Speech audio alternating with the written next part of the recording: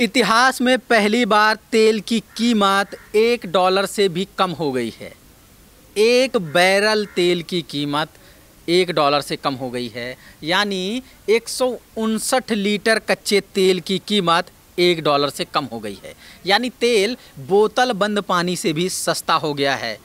तेल बाज़ार में हाहाकार मचा हुआ है। अमेरिका और कनाडा में तेल उत्पादन बंद हो रहा है। ओपेक को भी कुएँ बंद करने पड़ सकते हैं, क्योंकि कच्चे तेल के स्टोरेज की कमी पड़ रही है। अंतर्राष्ट्रीय बाज़ार में जो रेट है, उसके हिसाब से देश में अधिकतम तीन चार रुपए लीटर पेट्रोल और डीजल होने चाहिए। लेकिन सरकार ऐसा नहीं करेगी, क्योंकि प्रो पीपल सरकार ही ऐसा निर्णय ले सकती है। 2013 में जब कथित 70 साल वाली सरकार सत्ता में थी तब प्रति बैरल कच्चे तेल की कीमतें 125 डॉलर के आसपास थी। हमारे यहाँ पेट्रोल की कीमत छिहत्तर रुपये और डीजल की कीमत छाछठ रुपये थी और आज एक डॉलर प्रति बैरल से भी कम कीमत होने के बावजूद पेट्रोल सत्तर रुपये और डीजल बासठ रुपये में बिक रहा है। राष्ट्र प्रेमी चुप हैं क्योंकि महँगा खरीदना अब शौक बन गया है।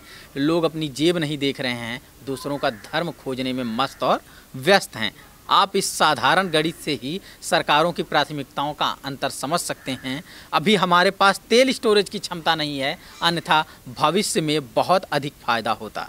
चीन ने इस दिशा में बहुत पहले ही कार्य शुरू कर दिया था।